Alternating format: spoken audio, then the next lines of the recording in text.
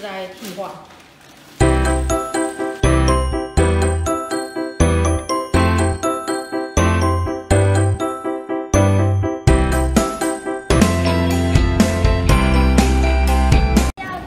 就是我们这个报纸垃圾袋的起想法起源，就是我们三零二。就你们去试试看，这个应该是很环保，不需要用热圾袋的啊，也是减少对地球的污染啊。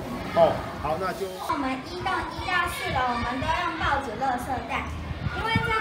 那个老师跟哥哥姐姐就会来告诉你们，为什么我们的厕所呢变成垃圾桶里面是报纸，卫生纸丢进去。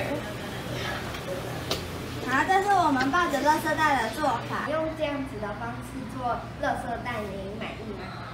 其实还还算可以，因为呢，你如果用这种的话，就可以就不用每一个礼拜都要去跑跑去学校去拿一次。